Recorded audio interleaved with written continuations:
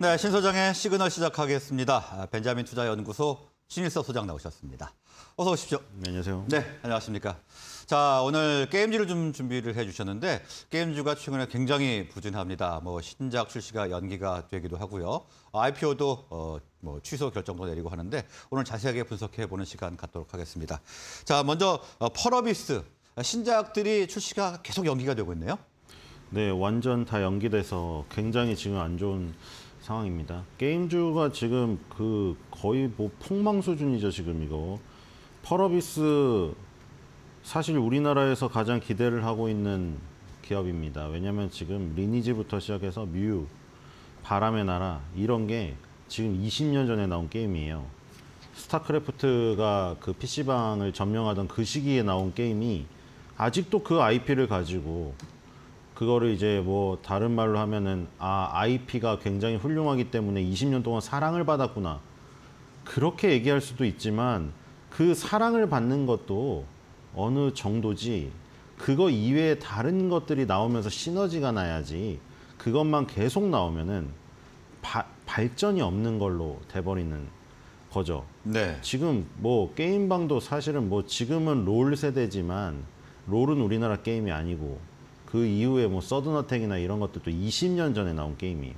그러니까 이제 펄어비스가 이제 어, 내놓을 어떤 그 IP라던가 이런 거에 기대를 하고 있는 거죠. 왜냐하면 약간 성향이 다르다고 해야 되나요? 지금 우리나라는 MMORPG 위주로 이루어져 있기 때문에 그 부분을 깰 수 있는 어떤 게임 회사의 등장을 원하고 있는 이 게임 씬에서 펄어비스가 가장 두각을 나타냈기 때문에 우리도 triple A 대작을 가져보자.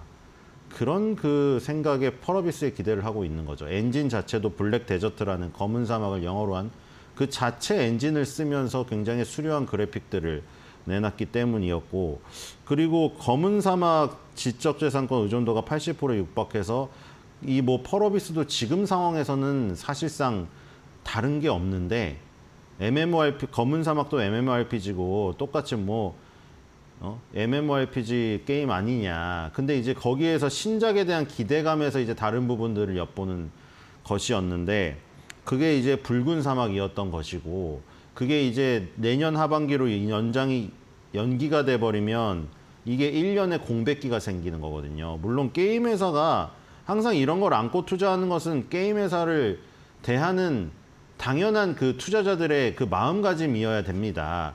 당연히 1분기에 출시되느냐, 2분기에 출시되느냐, 3분기에 출시되느냐 그렇게 그 발표를 해놓고 연기하는 게 다반수기 때문에 그런 거에 따른 어떤 그 주식시장의 흔들림 그거는 게임주를 투자하는 투자들의 숙명이에요. 근데 지금 문제는 펄어비스의 붉은 사막은 굉장히 몇 년 전부터 계속 얘기가 나왔던 것이 몇 번을 연기를 하면서 힘이 빠지게 만들고 있다는 것이죠. 그리고 붉은 사막이 지금 나와도 문제인 겁니다.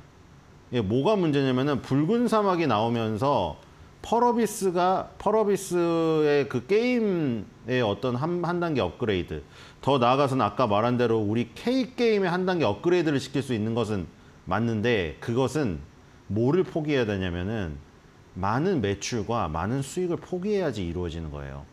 뭐냐면은 지금 게임 유저들이나 투자자들이 바라는 거는 아예 환골 탈퇴하는 거를 바라고 있는 것이잖아요. 더 이상 이게 뭐 지금까지는 먹혔어요. 왜냐면 20대, 10대 그 고등학생 때부터 시작했던 그 리니지를 가지고 혹은 뮤를 가지고 이제 어, 아저씨가 돼서 경제력이 생겼을 때 투자를 하고 그럼 거기서 또 어떤 회상 약간 그 빈티지 이런 느낌을 내서 다시 한번 또 향수를 일으키고 이런 것들 응팔 같은 시리즈가 흥행을 하고 그런 것들이 한 사이클은 돌 수가 있는데 그게 두 사이클 세 사이클 돌다 보면은 이제 진부해지기 시작해요. 그리고 새롭게 Z세대들이 Z세대들이 들어오고 있는 이 와중에 Z세대들한테는 먹히지가 않게 되는 거예요.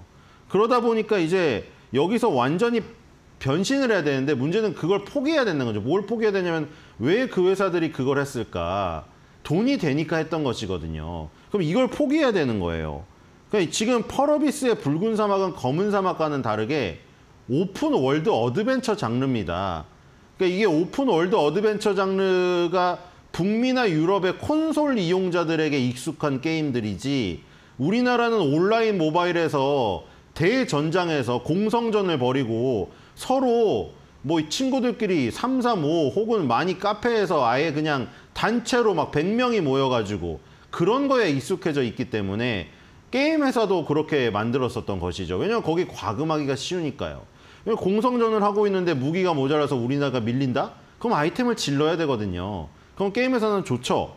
근데 이제 open world adventure 장르에다가 싱글 플레이 위주로 가버리게 되면은 그런 요소들을 배제시켜 버려야 되, 될 수밖에 없게 되는 거죠. 혼자 혼자 자, 혼자 나아가면서 싱글 플레이를 하면서 자기 캐릭터를 키워야 되는데 경쟁하는 요소는 없는 거예요. 그러다 보면은 과금에 있어서 게임 회사가 불리하게 되고 하지만 붉은 사막이 원하는 것은 한 단계 업그레이드거든요. 우리가 더 이상 여기서 물 저기 어, 하면 안 되겠다. 그래서 붉은 사막은 PC 콘솔 요걸로 다 나가는 것이고 대신에 그 부분을 포기하는 대신에 굉장히 화려한 그래픽을 통해서 우리나라도 triple A 게임의 대작을 만들어보는 그쪽으로 나아가는 거, 거기 때문에 이게 나오더라도 일단 매출이나 이익에서는 불리하다는 거예요. 한 네. 단계 level up 하기 위해서 그걸 뛰어넘기 위한 시도이기 때문에 어떤 그 부분에서는 굉장히 좋을 수가 있는데 게임 회사가 돈이 됐으면 다 이걸 했겠죠. 그러니까 게임 회사가 돈이 안 돼서 이걸 안 했었기 때문에 펄어비스는 돈이 안 되는 길을 택한 거예요, 지금. 그러니까 뭐냐면 돈 버는 게임을 만드는 게 아니라 훌륭한 게임을 만들기 위해서 지금 변신을 하려고 하는 부분이 더 포커스가 크기 때문에 이게 내년 하반기에 나오더라도 게임 회사의 그 지금 굳어진 구조에서는 수익을 내기가 좋지가 않은 거죠. 하지만 이제 뭐 그거를 통해 가지고 향후에 도깨비라든가 플랜 8까지 나온다고 하면 그 전체 업그레이드가 중장기적으로 영향을 미쳐서 좋긴 하겠으나 지금 1년의 공백기를 이렇게 뻥 뚫리게 만들어 버린 경우에는 이제 굉장히 그, 도- 그 사이에는 모멘텀이 완전히 부재한 상황이 펼쳐질 수밖에 없겠죠. 그러니까 주가는 굉장히 어려움을 겪을 겁니다. 네, 뭐 게임주 상당히 어려운 상황에 직면해 있다 이렇게 볼 수가 있겠는데요. 자, 또 라이온하트는 상장을 철회했죠. 어제 공시를 했던데요. 네, 지금 상장할 사람이 없을 겁니다. 네. 지금 정신 제정신을 가진 업체라면 상장하고 싶지가 않겠죠. 누가 이런 주식시장에서 지금 감히 상장을 하겠습니까? 제 몸값을 받을 수가 없는데요. 그러니까 지금 라이언하트가 그 상장 철회를 했고 거기다가 일반적인 상황이었어도 어려웠을 거예요. 왜냐하면 지금 카카오에 대한 분노가 극에 달아 있는 상황이거든요. 지금 투자자들이 어? 그 이러다가는 이러다가는 뭐 카카오 회사에서 쓰는 그 뭐 메모지까지 저기 분사할 거냐 이런 얘기까지 나오고 있기 때문에 카카오 게임즈에서 사실은 뭐 업적을 남겼죠. 그 그동안 리니지가 완전히 독주를 하고 있어서 그 철옹성 같은 벽을 아무도 깨지 못했고 넥슨의 바람의 나라가 잠깐 깬 적은 있, 있으나 계속 그 수위를 유지하고 있었는데 그 오딘이 그 벽을 깼잖아요. 그게 이제 카카오 게임즈의 라이온하트라는 개발사가 개발을 한 것이고 카카오 게임즈에 어떻게 보면은 지금 주가 상승의 대부분을 이끌었었죠. 최근에 우마무스메가 들어오기 전까지. 근데 지금 이 라이온하트 요거를 만약에 떼내서 상장한다면은 또 그 상황이 발생되는 거죠. 카카오페이, 카카오뱅크를 떼어서 쪼개기 상장을 한 다음에 그럼 카카오는 뭐가 이제 남 소는 누가 지키냐 이겁니다. 소는 소를 누가 소 소를 소를 지켜야 되는데 소 지킬 걸 다 빼버리니 그래서 일반적인 상황이었더라도 굉장히 반발이 심했겠죠. 오딘의 개발사인 라이온하트를 만약 빼서 상장을 하면은 그럼 카카오 게임즈는 뭐가 있느냐 이것이죠. 자체 IP도 안 그래도 부족한 상황에서 자체 IP가 부족한 상황에서 라이온하트의 오딘을 빼버리면은 그럼 뭐가 되느냐 이겁니다. 결국에는 철회할 수밖에 없었고 3만 6천 원에서 5만 3천 원을 공모가 밴드로 잡았었는데 여기서 지금 공모 규모가 4,104억에서 6,042억이었어요. 원래 예정대로라면은 다다음 주에 기관 투자자 수요 예측이 잡혀 있었어요. 네. 10월 28일에서 30일 날 기관 투자자 수요 예측을 해서 아까 공모가 밴드로 3만 6천 원에서 5만 3천 원을 제시한 이 라이온 하트사의 요 본- 밴드를 기관들이 보고 3만 6천 원이냐 5만 3천 원이냐 아니면은 그 이상을 부르느냐 아니면 공모가 밴드 하단이냐 이거를 결정해서 공모가를 결정한 다음에 그 공모가를 가지고 11월 7일 날 8일 날 일반 투자자에 대해서 청약을 하고 11월 내 상장할 목표를 갖고 있었는데 지금 시장 상황도 그렇고 지금 카카오나 뭐 뭐 LG화학부터 시작된 이런 쪼개기 상장에 대한 굉장히 불만들 이런 것들을 감안해서 결국 밀어붙이기가 상당히 어려웠었던 것이죠. 라이온하트 스튜디오의 철회 신고서의 마지막 말은 이것이었습니다. 현재 회사 가치를 적절히 평가받기 어려운 국내외 상향 등 제반 여건들을 종합적으로 고려해서 공동대표 주관회사, 공동주관회사 협의해서 철회 신고서를 제출한다. 이렇게 말을 했고요. 그리고 9월 2일 날 이런 것까지 올랐어요. 국회 지금 그 국회 그 전 정권에서 했던 그것과는 좀 다른 방식으로 하고 있는데 국회 국민 동의 청원에 라이온하트 스튜디오 분할 상장 금지 청원까지 등장을 했어요. 음, 네. 그러니까 지금 이런 여론의 상황에서 밀어붙이기는 일반적인 상황에서도 쉽지 않았을 것이다. 결국 이렇게 주식시장이 어렵기 때문에 이런 거를 핑계로 발을 뺄 수밖에 없는 지금 상황이다. 이렇게 볼 수가 있겠습니다. 네, 좀 어쩔 수 없이 지금 발을 뺄 수밖에 없는 그런 상황이 전개가 된 건데요. 자, 뭐 어, 라이언스 하트뿐만이 아니고 펄어비스나 라이언 하트뿐만이 아니고 자 이제 NC 소프트도 문제입니다. 탈 리니지화가 쉽지 않은 것 같습니다. 네, 이거를 할 수, 과연, 과연 버릴 수 있을까? 자신의 가장 사랑하는 아들이나 딸을 등져버려야 되는데, 그거를 할 수 있을까에 대한 고민입니다. 펄어비스도 결국 거, 붉은 사막을 갔을 때 돈 버는 게임이 아니라 훌륭한 게임을 만들어 보자는 그 명제 아래 완전히 그 변화를 시도하는 거거든요. 매출이나 이익이 줄어도 NC가 그걸 할 수 있을 것인가? 지금 일단 리니지 클래식은 출시가 무기한 연기됐는데 무기한 연기가 아니라 아마 개발 중단으로 가는 것 같다는 게 어. 중론이죠. 네, 왜냐하면 아까 말한 그대로입니다. 10대 때 리니지를 시작했던 청소년들이 3, 40대가 돼서 린저씨로 돈을 500에서 800억 월 쏟아붓고 쓰고 있었는데 거기서 가차 논란에 이어가지고 실망을 준 다음에 실망을 준 것을 되돌리기 위해서 마치 응팔 시리즈처럼 옛날에 향수를 불러일으키는 뭐 요즘에 그런 거 있잖아요. 싸이월드도 부활을 하고 옛날에 PC통신에 쓰던 그 뭐 필체나 이런 것들을 다시 쌓아서 향수를 자극시키고 이런 것들이 처음에는 먹혀요. 왜냐면 그것만 봐도 아시, 아시죠? 우리 뭐 돌아온 꺼벙이니 무슨 논두렁이니 어렸을 때부터 쫀득이 이런 거 다시 편의점에 놔두면 향수 때문에 사 먹잖아요. 근데 그걸 사 먹는 것도 하루 이틀이지 그게 지금 현재 어, 유행하고 있는 그 먹는 것만큼 먹지는 않거든요.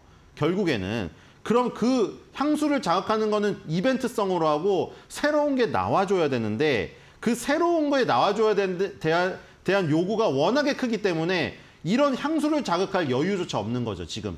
리니지 클래식은 2000년대 초반 버전을 구현하는 것을 목표로 했었고 자동 자동 사냥 기능이 없고요. 자동 사냥 기능은 나중에 나왔죠. 그리고 4대 3 해상도 그다음에 도트 형태의 1K 그리, 그래픽을 그러니까 지금 이런 완전 초고화질 그래픽을 구현할 수 있는데 향수를 자극하기 위해서 해, 하고 있었던 거죠. 근데 지금 여론이 그게 아닌 거죠. 지금 그럴 때가 아니다. 리니지를 가지고 뭐 클래식을 만들고 리니지 뒤에다가 뭐 레볼루션을 붙이고 그게 몇 개냐 도대체 리니지 W, 리니지 레볼루션, 리니지 리니지 앞에 붙여놓고 뒤에만 계속 바꾸는 거 아니야 클래식 W. 네. 그러니까 이제 여기서 이제 한계 부닥친 거예요.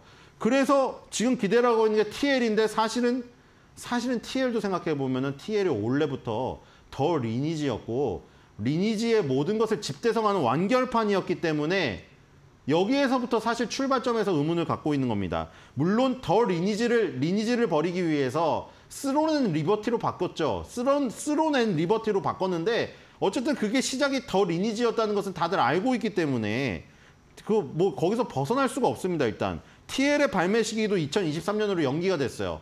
이것도 지금 펄어비스랑 똑같거든요. 코로나 여파로 인해 가지고 지금 신작들이 대부분 게- 게임 회사들이 연기가 됐어요. 코로나 때문에 모이질 못했어요. 개발진들이.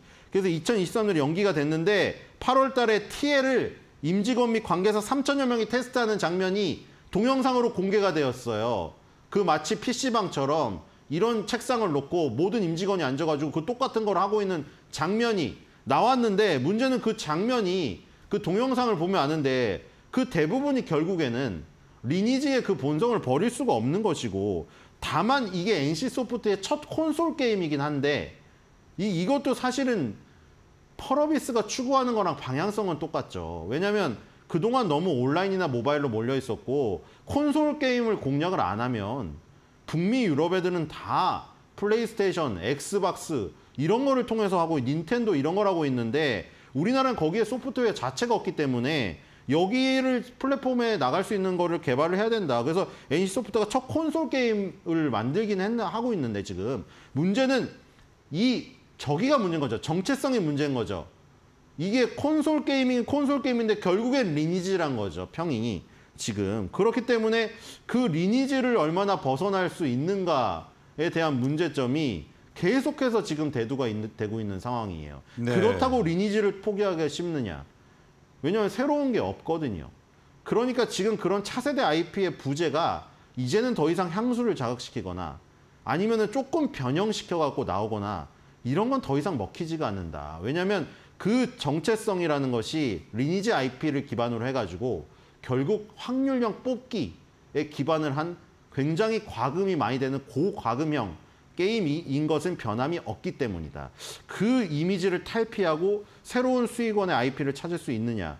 이 고민을 하는 동안 주가는 정말 갈피를 못 잡고 헤매일 가능성이 아주 크다. 이렇게 보입니다. 네, 뭐 그런 고민을 하면서 주가도 하락하는 가운데 이 중국의 게임 업체들이 치고 올라오고 있습니다. 뭐 이 중국 업체들의 히트 게임을 뭐 대륙의 실수다, 뭐 이렇게까지 불리고 있다고 하는데. 네, 우리가 좀 비아냥으로 하고 네. 있으나 사실은 비아냥될 수준이 아닌 거죠. 왜냐하면 우리나라까지 먹어버렸으니까. 그러니까 대륙의 실수라고 하는 이유는 우리가 그거에 빗댄 거죠.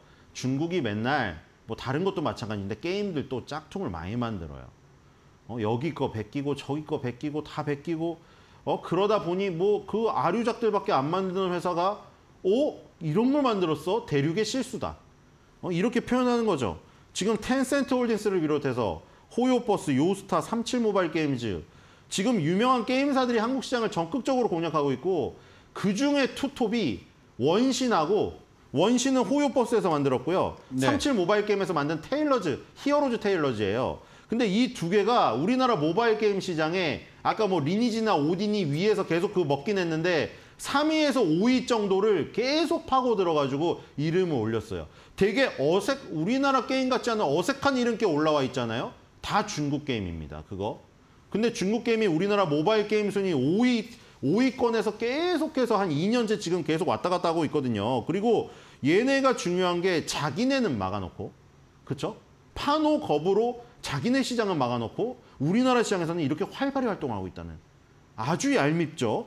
그렇다고 우리나라도 같이 막아버리면은 그러면 여기 하나에서 끝나지 않겠죠. 중국이 어? 우리나라의 모든 업종에서 걸고 넘어지겠죠. 그 미국, 일본, 중국 앱스토어에서 매출 1위를 했어요. 원신이. 네, 그때 세비섬에서 그 보시면 아시다시피 축제했을 때 줄을 얼마나 섰는지 출입구까지 줄을 서 있었습니다. 한강 출입구까지. 그리고 원신의 매출 비중이 이게 골고루인 게 아주 좋은 거죠. 원신이 중국이 32, 중국이 제일 많은 거는 맞는데 일본도 24가 있고 미국이 18이에요. 예를 들어 리니지를 예를 들면 미국은 아예 없습니다. 그냥 아예 없어요. 대만, 일본에서 하고 있는 거죠. 그리고 원신은 모바일만 공략한 게 아니라 PC랑 콘솔, 콘솔 플레이스테이션까지 다 됩니다.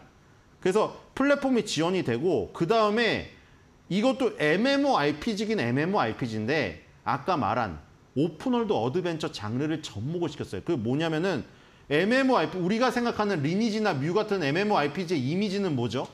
대규모로 모여서 길드를 가입해가지고 대규모 공성전을 벌이고 카페 회원들끼리 모이고 어, 실제로도 만남을 갖고 이런 거잖아요.